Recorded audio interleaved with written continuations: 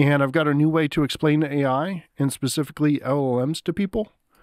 And I think this one is short enough. In fact, I'm just going to give the highlights of it. So let me take you into this one.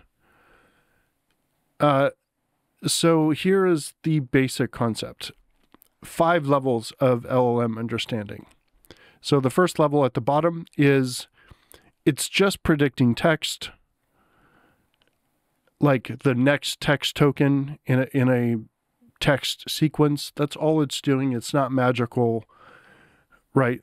And this is kind of the most common argument for why LLMs and AI is not all that special, or specifically AI based on LLMs. People are just like, look, it's just next token prediction, no big deal.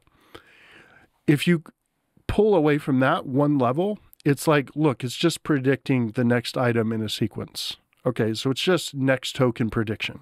Okay, one abstraction away from there, and this all comes from this thing from uh, Eliezer Yudkowsky, who had this this great kind of little statement on X that made me think about this. But essentially, what it is is for this level, level three, it's predicting the next token in the description of an answer. Okay. So what Yudkowsky said was any predicting the next token is isomorphic with predicting the next token of an answer. Okay, and that is really, really powerful. And it wasn't the exact quote, but it's essentially it.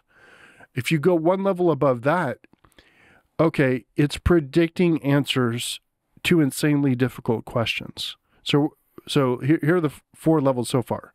It's predicting the next token in a piece of text. It's predicting the next token. Third level, it's predicting the next token of an answer. Second level, it's predicting answers. And the top level, it seems to know everything.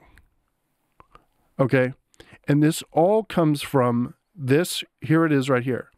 It just predicts the next token. Literally, any well posed problem is isomorphic to predict the next token of the answer.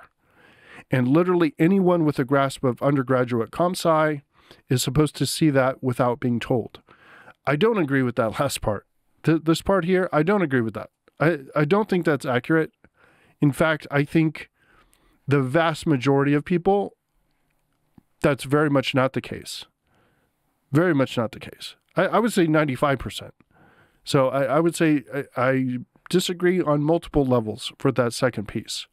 The part that I like is this here, which I highlighted and separated on purpose. Literally any well posed problem is isomorphic to predict the next token of the answer.